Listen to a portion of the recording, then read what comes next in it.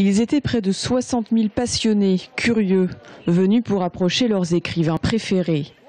Des grands maîtres aux jeunes pousses, des habitués aux petits nouveaux.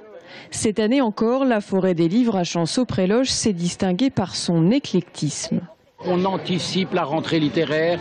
On a à la fois des talents inconnus qui sont célébrés et des gens célèbres qui aident les inconnus à se faire connaître. Et c'est ça la forêt des livres. Parmi ces illustres personnages, Mathilde Gabory, 13 ans, la plus jeune écrivaine venue présenter son premier livre.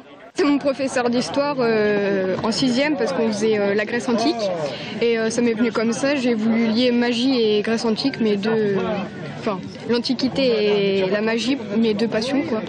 Et puis après j'ai commencé en permanence. Voilà. Quelques allées plus loin, on se pressait pour glisser un petit mot à Gisèle Casatsu. La grande dame du théâtre fête ses 100 ans. On l'admire beaucoup. 100 ans, c'est magnifique. Pour nous, c'est l'espoir que les anciens vivent aussi longtemps et aussi bien. C'est quoi votre secret pour, euh, pour avoir 100 ans aujourd'hui Écoutez, je n'ai pas de secret, mais je remercie mes parents et le Seigneur de m'avoir fait une bonne santé. C'est vrai, ça c'est, c'est un grand privilège. Mais cette année, incontestablement, la star s'appelait Indila. La chanteuse et son album Mini World étaient nommés dans la catégorie prix jeune poésie. Pour ses fans, l'attente fut longue, mais qu'importe. Vous avez fait la queue pendant combien de temps là Au moins deux heures Au moins deux heures et demie, Si oui. c'est pas trois. hein. Est-ce que ça en valait la peine Alors là, complètement, elle est super jolie, elle est magnifique.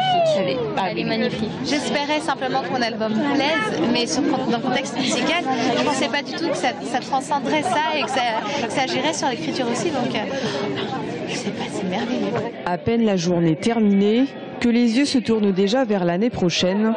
La Forêt des Livres fêtera alors son 20e anniversaire, un anniversaire qui promet sans nul doute un casting exceptionnel.